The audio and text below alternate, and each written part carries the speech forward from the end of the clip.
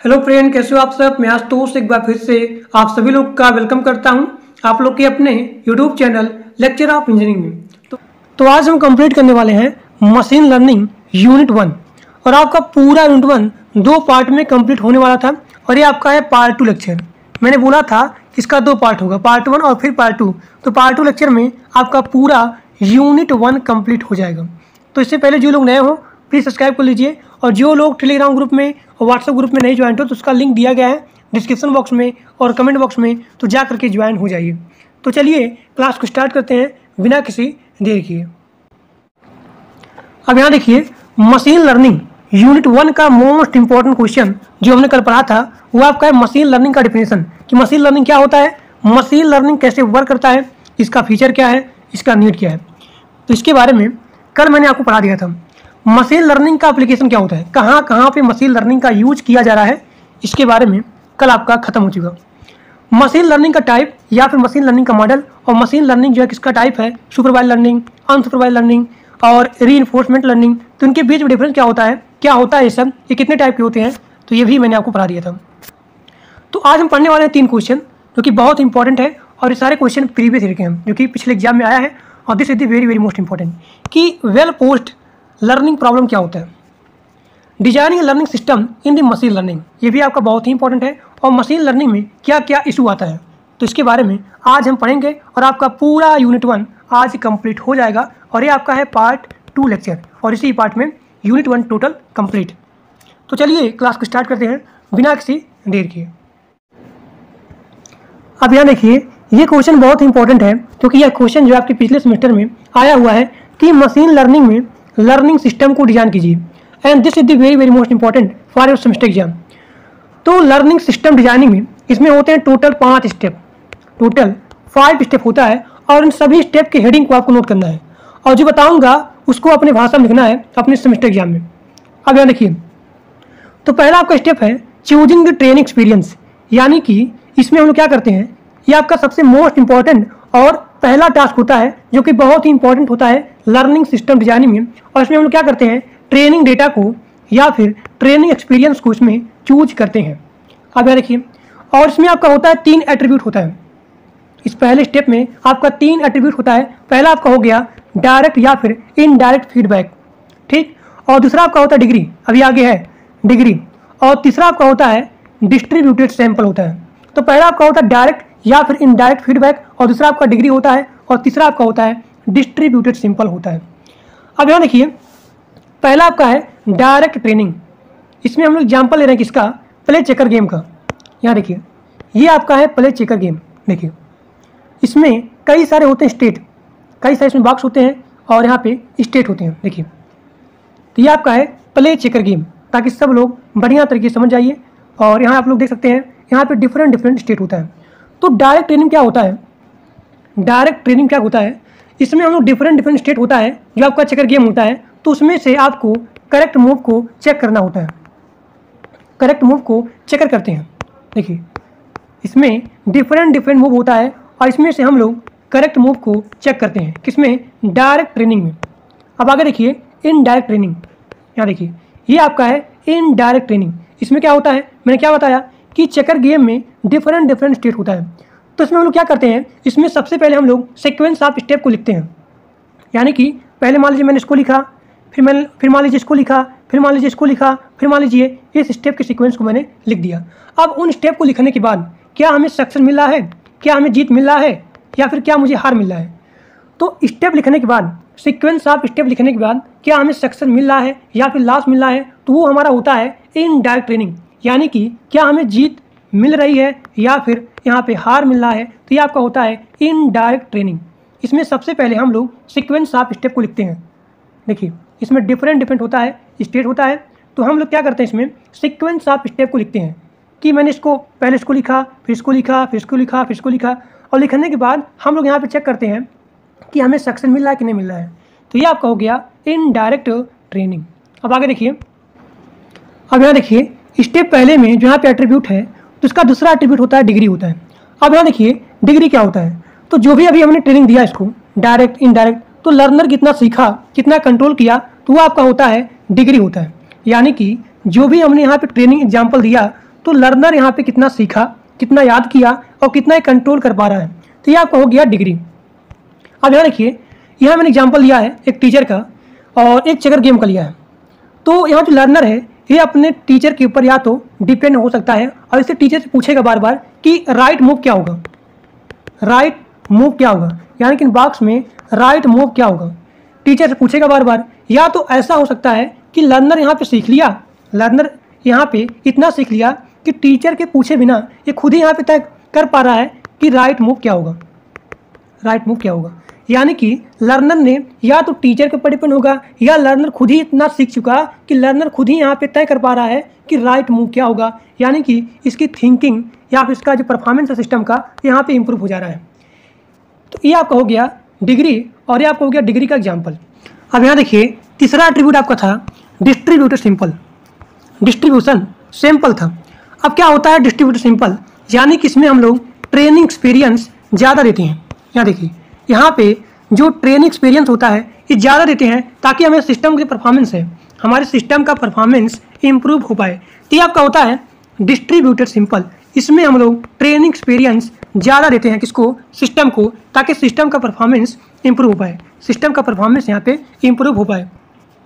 अब यहाँ देखिए, ये एग्ज़ाम्पल है चेकर गेम का। चेकर गेम का। इसमें क्या है कि अगर मैं लर्नर को ज़्यादा एक्सपीरियंस देता हूँ, ज़्यादा यहाँ पे ट्रेनिंग डेटा देता हूँ, या फिर ज़्यादा ट्रेनिंग एक्सपीरियंस देता हूँ।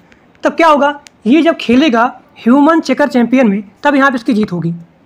लेकिन अगर मान लीजिए, मैंने इसको यहाँ पे ट्रेनिंग एक्सपीरियंस नहीं दिया, तब क्या होगा? ये ह्यूमन चेकर चैंपियन में यहाँ पे हार जाएगा। तो ये आपका हो गया चेकर गेम का एग्ज़ाम्पल और ये आपका है डिस्ट्रीब्यूटेड सिंपल अब आगे देखिए स्टेप नंबर टू अब यहाँ देखिए स्टेप नंबर टू आपका होता है टारगेट फ़ंक्शन को चूज़ करना। टारगेट फ़ंक्शन को चूज़ करना। इसमें हम लोग देखते हैं क्या? इसमें हम लोग डिटरमाइन करते हैं कि सिस्टम जो है, किस टाइप का नॉलेज लर्न कर रहा है। जो यहाँ पे सिस्टम है, इस सिस्टम किस टाइप का नॉलेज लर्न कर रहा है और उसके परफॉर्मेंस में क्या यहाँ पे इम्प्रूवमेंट हो रहा है और किस तरीके से उसकी परफॉर्मेंस इम्प्रूव हो रही है। तो ये आपका है चूजिंग द टारगेट फ़ंक्शन अब यहाँ देखिए एग्ज़ाम्पल चेकर गेम का, वही है। अब आप लोग देख सकते हैं, यहाँ पे कई सारा डिफरेंट डिफरेंट यहाँ पे स्टेट है डिफरेंट डिफरेंट यहाँ पे मूव है। तो मेरा यहाँ पर क्या होता है उद्देश्य? कि मैं इसमें से सबसे जो बेस्ट मूव होता है बेस्ट मूव वो मुझे चूज़ करना है, ताकि हमारे यहाँ पे जीत हो। तो चेकर गेम में यहाँ देखिए, बहुत ही ज़्यादा यहाँ क्या है मूव है, और इन सभी मूव में से हमारे यहाँ केवल एक ही उद्देश्य होता है कि हमें यहाँ पे बेस्ट मूव को चेक करना है। बेस्ट मूव को चेक करना है, ताकि हमारा जीत हो। अब यहाँ देखिए, वही यहाँ पे एग्ज़ाम्पल में लिखा गया है कि in play checker it need to learn to choose the best move among these legal move ताकि हमारे यहाँ पे जीत हो जाए। तो ये आपका step number two choosing the target function यानी कि इसमें हम लोग टारगेट फ़ंक्शन को चूज़ करते हैं, जिससे हमारा जीत हो। यहाँ पे एग्ज़ाम्पल आपका हो गया। अब आगे देखिए। अब यहाँ देखिए step number three choosing representation for the target function यानी कि टारगेट फ़ंक्शन को रिप्रेजेंट करने के लिए रिप्रेजेंट करने के लिए हमें किस टाइप का फॉर्मेट यहाँ पे चूज़ करना होगा, या फिर यूज़ करना होगा। अभी मैंने बताया आपको स्टेप नंबर टू में कि choosing target function choosing target function अब आपका तीसरा स्टेप है इस टारगेट फ़ंक्शन को रिप्रेजेंट करने के लिए। इस टारगेट फ़ंक्शन को रिप्रेजेंट करने के लिए हमें किस टाइप का फॉर्मेट यूज़ करना होगा? अब यहाँ देखिए, वो फॉर्मेट यहाँ दिया गया है, जैसे कि linear equation hierarchical graph representation tabular form तो इस फॉर्मेट का यूज़ करके हमारे पास बहुत ज़्यादा मूव होता है। देखिए, हमारे पास यहाँ पे बहुत ही ज़्यादा मूव होता है। तो उस फॉर्मेट का यूज़ करके हम लोग यहाँ पे बेस्ट मूव को चूज़ करते हैं। बेस्ट मूव को चूज़ करते हैं, जिससे हमारी क्या हो? जीत हो, हमारे सक्सेस में क्या हो इंक्रीमेंट हो। जिससे हमारा सक्सेस रेट यहाँ पे इंक्रीमेंट हो इंक्रीज हो। अब यहाँ देखिए, इस फॉर्मेट का यूज़ करके हमने बेस्ट मूव को यहाँ पे पा लिया। बेस्ट मूव को पा लिया। अब इस बेस्ट मूव को कौन यहाँ पे चलाएगा? तो नेक्स्ट मूव फ़ंक्शन यहाँ पे बेस्ट मूव को या फिर लीगल मूव को। बेस्ट मूव या फिर लीगल मूव को चलाएगा। अब यहाँ देखिए एग्ज़ाम्पल जैसे कि यहाँ हो गया चेस मशीन तो चेस मशीन के पास यहाँ होता है, चार अल्टरनेटिव मूव होता है। अब यहाँ पे चारों अल्टरनेटिव मूव में से यहाँ जो मशीन होता है, उसमें से बेस्ट मूव को चूज़ करता है। उसमें से ऑप्टिपल ऑप्टिमल मूव को चूज़ करता है या फिर सिलेक्ट करता है ताकि इससे क्या हो, इसकी विक्ट्री हो सके, इसकी जीत हो सके। तो ये आपका हो गया चूजिंग रिप्रेजेंटेशन अब आगे देखिए स्टेप नंबर फोर यहाँ देखिए स्टेप नंबर फोर आपका है कि चूजिंग फ़ंक्शन अप्रॉक्सीमेशन एल्गोरिथम यानी कि इसके फ़ंक्शन के लिए हमें किस टाइप का यहाँ पे एल्गोरिथम को चूज़ करना पड़ेगा? देखिए तो स्टेप नंबर फोर में हम लोग क्या करते हैं? लर्निंग एल्गोरिथम को यहाँ पे चूज़ करते हैं। तो लर्निंग एल्गोरिथम को चूज़ करने के लिए यहाँ पे होता है दो स्टेप पहला आपका होता है estimating training value estimating training value और दूसरा आपका होता है एडजस्टिंग वेट देखिए, मैं एक बार फिर से बोल रहा हूँ कि लर्निंग एल्गोरिथम को चूज़ करने के लिए यहाँ होते हैं दो स्टेप पहला आपका होता है इस्टीमेटिंग ट्रेनिंग वैल्यू और दूसरा आपका होता है एडजस्टिंग एडजस्टिंग वेट होता है। तो ये आपका हो गया स्टेप नंबर फोर जिसमें हम लोग क्या करते हैं लर्निंग एल्गोरिथम को चूज़ करते हैं। अब आगे देखिए स्टेप नंबर फाइव जो कि वो आपका होता है फाइनल अब यहाँ देखिए लर्निंग सिस्टम डिज़ाइनिंग में पाँचवा स्टेप आपका होता है फाइनल स्टेप यानी कि स्टेप नंबर फाइव में हम लोग सिस्टम को डिज़ाइन करते हैं। लर्निंग सिस्टम को इसमें डिज़ाइन करते हैं। तो ये आपका होता है फाइनल स्टेप होता है, जिसमें हम लोग लर्निंग सिस्टम को डिज़ाइन करते हैं। अब यहाँ देखिए स्टेप नंबर फाइव में यहाँ होते हैं चार पैरामीटर होते हैं। पहला आपका हो गया एक्सपेरिमेंट जनरेटर और दूसरा आपका हो गया परफॉर्मेंस सिस्टम अब तीसरा आपका होता है क्रिटिक होता है और चौथा आपका होता है जनरलाइजर अब यहाँ देखिए, इन सभी का काम कैसे होता है और कैसे यहाँ पे लर्निंग सिस्टम डिज़ाइन होगी। अब यहाँ देखिए परफॉर्मेंस सिस्टम क्या होता है? परफॉर्मेंस सिस्टम क्या होता है? तो परफॉर्मेंस सिस्टम को जो भी टास्क दिया जाएगा, जो भी टास्क दिया जाएगा या जो भी प्रॉब्लम दिया जाएगा, उस प्रॉब्लम की ये सॉल्व करेगा। कौन? परफॉर्मेंस सिस्टम अब प्रॉब्लम कहाँ से आएगा? प्रॉब्लम जो है एक्सपेरिमेंट एक्सपेरिमेंट जनरेटर के पास आएगा। किसके पास? परफॉर्मेंस सिस्टम के पास। जो भी प्रॉब्लम आएगा, ये उसको सॉल्व करेगा। तो जो यहाँ प्रॉब्लम आ रहा है एक्सपेरिमेंट जनरेटर के पास तो परफॉर्मेंस सिस्टम का ये प्रॉब्लम क्या होता है? इनपुट होता है। और इसको परफॉर्मेंस सिस्टम आउटपुट के रूप में देता है क्या? सॉल्यूशन ट्रेस या फिर गेमिंग हिस्ट्री देता है। अब यहाँ देखिए जब परफॉर्मेंस सिस्टम देता है पूरे हिस्ट्री को गेमिंग को, तब यहाँ पे जो क्रिटिक होता है, उस पूरे गेम की हिस्ट्री को लेता है इनपुट के रूप में। यहाँ पे क्रिटिक है, उस पूरे गेम की हिस्ट्री को लेता है। यानी कि कितनी बार यहाँ पे जीत हुई, कितनी बार यहाँ पे हार हुई इस सारा पूरा हिस्ट्री कौन लेता है? क्रिटिक लेता है इनपुट के रूप में। अब यहाँ देखिए, जब यहाँ पे क्रिटिक पूरे गेम की हिस्ट्री को ले लिया, तब इसने यहाँ पे प्रोड्यूस किया क्या? ट्रेनिंग एग्ज़ाम्पल को इसने जनरेट कर दिया। तो क्रिटिक का ये हो गया आउटपुट अब यहाँ देखिए तब ये क्रिटिक का आउटपुट जो यहाँ पे ट्रेनिंग एग्ज़ाम्पल है, ये जाएगा किसके पास? जेनलाइजर के पास जाएगा। अब यहाँ देखिए अब जो यहाँ पे जेनलाइजर है, इस ट्रेनिंग एग्ज़ाम्पल को इनपुट के रूप में देगा और यहाँ पे हाइपोथेसिस को यहाँ पे आउटपुट के रूप में यहाँ पे प्रोड्यूस कर देगा। कि क्या इसका आउटपुट है? अब यहाँ पे हाइपोथेसिस क्या होता है? एक सेकेंड हाइपोथेसिस क्या होता है? ये टारगेट फ़ंक्शन को, ये टारगेट फ़ंक्शन को इस्टीमेट करता है, आकलन करता है इस्टीमेट करता है। अब यहाँ पे ये हाइपोथेसिस ये हाइपोथेसिस जाए किसके पास? एक्सपेरिमेंट जनरेटर के पास जाएगा। और एक्सपेरिमेंट जनरेटर ये क्या है इसका? यहाँ पे हाइपोथेसिस है इसका इनपुट है। अब यहाँ देखिए, इस हाइपोथेसिस में जो भी प्रॉब्लम है यहाँ पे एक्सपेरिमेंट यहाँ पे जनरेट करेगा। इसमें जो भी प्रॉब्लम है तो यहाँ पे एक्सपेरिमेंट आउटपुट के रूप में यहाँ पे न्यू प्रॉब्लम को यहाँ पे क्रिएट कर देगा जनरेट कर देगा। अब यही प्रॉब्लम जाएगा परफॉर्मेंस सिस्टम के पास इसको सॉल्व कर देगा। फिर यहाँ पे गेमिंग हिस्ट्री जाएगी। यहाँ पे जाएगी क्रिटिक पास और क्रिटिक पास जाएगी जर्नलाइजर के पास, फिर यहाँ पे हाइपोथेसिस तो इसी प्रकार से यहाँ पे साइकिल चलती रहती है। तो ये आपका हो गया स्टेप नंबर फाइव इसमें हम लोग क्या करते हैं? लर्निंग सिस्टम को डिज़ाइन करते हैं। अब आगे देखिए, अगला क्वेश्चन अब यहाँ देखिए, अगला क्वेश्चन आपका है कि मशीन लर्निंग में क्या क्या यहाँ पे कमियाँ आती हैं क्या क्या यहाँ पे इशू आता है, जो कि बहुत ही इंपॉर्टेंट है this is the very very most important for your semester exam तो आप लिखेंगे कि देखिए मशीन लर्निंग में जो यहाँ पे आता है इशू, वो क्या है? पुअर क्वालिटी ऑफ़ डेटा यानी कि मशीन लर्निंग के प्रोसेस में अगर आप देखेंगे तो डेटा का बहुत ही महत्वपूर्ण रोल होता है। क्योंकि अगर मशीन लर्निंग प्रोसेस में, अगर मशीन लर्निंग प्रोसेस में, अगर इसको गुड क्वालिटी डेटा मिलेगा किसको? मशीन लर्निंग प्रोसेस में। तभी क्या करता है? आपके आउटपुट को, यानी कि जिसका आउटपुट होगा, इसको इन्हेंस करेगी इंक्रीज करेगी। और जो भी यहाँ पे अनवांटेड चीज़ रहेगा, उसको ये रिमूव करती है। देखिए मशीन लर्निंग प्रोसेस में जब यहाँ पे गुड क्वालिटी का डेटा गुड क्वालिटी का डेटा दिया था किसको? मशीन लर्निंग को तो जिसमें होता है अनवांटेड फीचर इसको रिमूव करता है। जो भी यहाँ होता है मिसिंग वैल्यू होता है, इसको फिल्टरिंग करने का काम करता है। ठीक? और यहाँ देखिए, और गुड क्वालिटी का डेटा गुड क्वालिटी का डेटा हमारे आउटपुट को इन्हेंस करता है, और जो भी यहाँ होता है अनवांटेड चीज़ें, उसको रिमूव करता है। तो अगर आप देखेंगे कि हमारे मशीन लर्निंग प्रोसेस में गुड क्वालिटी का डेटा यहाँ पे ऑप्शंस होता है। तो ये आप लिखेंगे this is the major missing of the machine learning that is the poor quality of data अब आगे देखिए। अब यहाँ देखिए मशीन लर्निंग का अगला इशू वो आपका है underfitting of the training data ये क्या होता है? इसको हम लोग पढ़ेंगे पूरा डीप में यूनिट टू में। अब यहाँ देखिए underfitting of the training data क्या होता है? यानी कि जब सिस्टम को या फिर जब मशीन लर्निंग मॉडल को कम डेटा दिया जाता है तो उसे बोला जाता है क्या? Underfitting of the training data अब यहाँ देखिए, अगर आप मशीन लर्निंग मॉडल को मशीन लर्निंग मॉडल को, एक सेकंड मशीन लर्निंग मॉडल को, अगर आप कम डेटा देते हो, कम डेटा देते हो तो जो यहाँ पे सिस्टम की एक्यूरेसी है, यहाँ पे डिस्ट्रॉय हो जाएगी।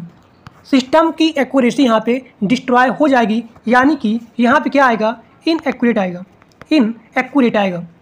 ठीक? तो ये आपको हो गया underfitting of the training data यानी कि मशीन लर्निंग मॉडल को कम डेटा देना। कम डेटा देना किसको? मशीन लर्निंग मॉडल को या फिर सिस्टम को। तो ये आपका हो गया underfitting of the training data अब आगे देखिए। अब यहाँ देखिए मशीन लर्निंग का अगला इशू वो आपका है overfitting of the training data अभी क्या होता है? Overfitting of the training data जब मशीन लर्निंग मॉडल को, जब मशीन लर्निंग मॉडल को ज़्यादा डेटा दिया जाता है तो उसे बोला जाता है क्या? Overfitting of the training data अब यहाँ देखिए, अगर मैंने मशीन लर्निंग मॉडल को, अगर मैंने मशीन लर्निंग मॉडल को ज़्यादा डेटा दे दिया तो हमारे परफॉर्मेंस पे नेगेटिव इफ़ेक्ट देगा। नेगेटिव इफ़ेक्ट देगा। तो इसे आप बोलेंगे this is the machine learning issue यानी कि मैंने यहाँ पे मशीन लर्निंग मॉडल को मैसिव अमाउंट ऑफ़ डेटा दे दिया। यानी कि लार्ज अमाउंट में डेटा दे दिया, जिससे हमारे परफॉर्मेंस पे नेगेटिव इफ़ेक्ट आएगा। अब यहाँ देखिए, जैसे आप मशीन लर्निंग मॉडल को ज़्यादा डेटा ज़्यादा डेटा देते हो। यानी कि ओवर फिटिंग डेटा देते हो। तब क्या करेगा? यहाँ पे नॉइज़ कैप्चरिंग होने लगेगा। और यहाँ पे यहाँ पे डेटा का एक्यूरेसी है, यहाँ पे डिस्ट्रॉय हो जाएगी। डेटा की एक्यूरेसी और यहाँ पे नॉइज़ कैप्चरिंग यहाँ पे स्टार्ट होने लगेगा। अब यहाँ देखिए एग्ज़ाम्पल दिया गया है कि हमें यहाँ पे मशीन लर्निंग मॉडल को यहाँ क्रिएट करना है, जो कैट रैबिट डॉग और टाइगर इन चारों में डिफरेंस बताए देखिए डिफरेंस बताए तो मैंने यहाँ दिया, बहुत ही ज़्यादा डेटा दे दिया। जैसे कि स्टेयरिंग डेटा में मैंने यहाँ दिया एक हज़ार कैट, एक हज़ार डॉग और एक हज़ार टाइगर को दे दिया। और यहाँ पे चार हज़ार रैबिट को दिया। अब यहाँ सिस्टम है, सिस्टम क्या करेगा? इस सिस्टम की परफॉर्मेंस यहाँ पे लो हो जाएगी, क्योंकि आप लोग यहाँ देख रहे हैं कि यहाँ जो कैट है और जहाँ पर रैबिट है, इन दोनों यहाँ प्रोबेबिलिटी है, बहुत ही ज़्यादा हो जाएगा यानी कि यहाँ जो परफॉर्मेंस आपकी है सिस्टम की, यहाँ पर लो हो जाएगी, क्योंकि आपने यहाँ पर ज़्यादा डेटा दे दिया। तो जब मैं सिस्टम को बहुत कम डेटा दे रहा हूँ और जब मैं सिस्टम को बहुत ही ज़्यादा डेटा दे रहा हूँ तो इसका जो परफॉर्मेंस पे इफ़ेक्ट है, वो आ रहा है नेगेटिव यानी कि हमें ना ही बहुत ही ज़्यादा डेटा देना है और ना ही बहुत ही कम डेटा देना है। इन दोनों के बीच में डेटा देना है किसको? मशीन लर्निंग मॉडल को। ठीक? तो यानी कि हमें यहाँ पे मेंटेन करने की आवश्यकता है किसमें? डेटा में। तो ये आपका हो गया machine learning issue overfitting of the training data अब आगे देखिए। अब यहाँ देखिए मशीन लर्निंग का अगला इशू वो आपका है machine learning is a complex process यानी कि जब हम किसी सिस्टम को डिज़ाइन करते हैं, जब हम किसी सिस्टम को डिज़ाइन करते हैं तो उसमें हम लोग बहुत ही ज़्यादा ट्रेनिंग डेटा देते हैं मशीन लर्निंग के डिज़ाइन में। अब इसमें क्या होता है ट्रेनिंग डेटा में इसमें बहुत ही ज़्यादा कॉम्प्लेक्सिटी होती है। यानी कि इसके प्रोसेस में जो हम लोग यूज़ करते हैं क्या मैथमेटिकल कैलकुलेशन ये भी आपका बहुत ही कॉम्प्लेक्स लेवल का होता है। यानी कि मशीन लर्निंग के प्रोसेस में बहुत ही ज़्यादा एरर आता है, क्योंकि मशीन लर्निंग के डिज़ाइनिंग में हम लोग ढेर सारा ट्रेनिंग डेटा को देते हैं। तो आप लोग यहाँ पे देख सकते हैं hence there are high chance of error which make the learning complex क्योंकि यहाँ पे लर्निंग बहुत ही कॉम्प्लेक्स हो जाती है, क्योंकि हम लोग यहाँ पे लार्ज अमाउंट में ट्रेनिंग डेटा को देते हैं सिस्टम के डिज़ाइनिंग में। और यहाँ पे जो यूज़ होता है मैथमेटिकल कैलकुलेशन ये भी आपका बहुत ही कॉम्प्लेक्स लेवल का होता है। तो ये आपका हो गया मशीन लर्निंग का इशू यानी कि machine learning is a complex process अब आगे देखिए। अब यहाँ देखिए, अगला क्वेश्चन आपका है कि वेल पोल्ड लर्निंग प्रॉब्लम क्या होता है? यानी कि इसमें क्या क्या प्रॉब्लम आती है? लर्निंग में क्या क्या प्रॉब्लम आती है? और इसको इम्प्रूव करने के लिए यहाँ होते हैं तीन फीचर या फिर तीन पैरामीटर होता है। पहला आपका होता है टास्क दूसरा परफॉर्मेंस मेजर और तीसरा आपका होता है ट्रेनिंग एक्सपीरियंस तो टास्क को मैंने यहाँ पे रिप्रेजेंट किया टी से प्लेइंग चेकर यानी कि चेकर को प्ले करना, वो आपको हो गया टास्क हो गया। और दूसरा आपका है परफॉर्मेंस मेजर इसको मैंने यहाँ पी से रिप्रेजेंट किया। आप गेम में कितनी बार जीते हो, उसका परसेंटेज निकाल लो और और आप इसी प्रकार से परफॉर्मेंस को मेजर कर सकते हो। यानी कि आप गेम में कितनी बार जीते हो, उसका परसेंट निकाल करके परफॉर्मेंस को मेजर कर सकते हो। तो जिसको मैंने यहाँ पे पी से रिप्रेजेंट कर दिया। अब यहाँ देखिए, अगला आपका है ट्रेनिंग एक्सपीरियंस इसको मैंने यहाँ पे ई से रिप्रेजेंट कर दिया। यानी कि आप गेमिंग को बार बार खेल करके ट्रेनिंग कर सकते हो या फिर प्रैक्टिस कर सकते हो। तो ये आपका हो गया वेल पोस्ट लर्निंग, जो कि बहुत इंपॉर्टेंट है कभी कभी टू मार्क में क्वेश्चन पूछ लेता है और ये क्वेश्चन जो है पिछले साल आया था मतलब पिछले सेमेस्टर में आया था। तो आज आपका यूनिट वन पूरा का पूरा कंप्लीट हो चुका और ये आपका है पार्ट टू लेक्चर कल से स्टार्ट करेंगे हम यूनिट टू मशीन लर्निंग तो आज के लिए बस इतना ही। Thank you